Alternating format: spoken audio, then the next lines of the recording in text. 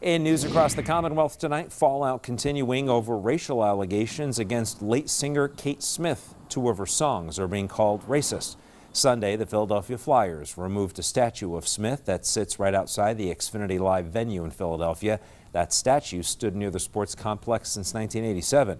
The hockey team also announcing it will no longer use Smith's rendition of God Bless America.